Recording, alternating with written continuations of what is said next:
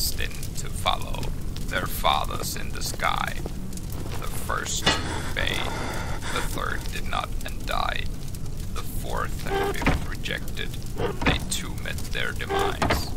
The rest took note and took the road to claim their father's prize.